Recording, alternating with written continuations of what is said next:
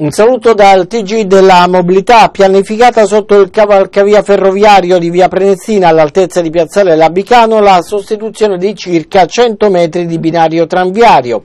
L'intervento si svolgerà sino a sabato 8 luglio e poiché il tratto di binario interessato viene utilizzato sia come itinerario di linea che come percorso di instradamento verso i depositi e capolinea è necessario sospendere l'intera rete tram per tutta la durata dei lavori. Di conseguenza i percorsi delle linee 2, 3, 5, 14 e 19 vengono svolti con bus sino alla fine del servizio dell'8 luglio.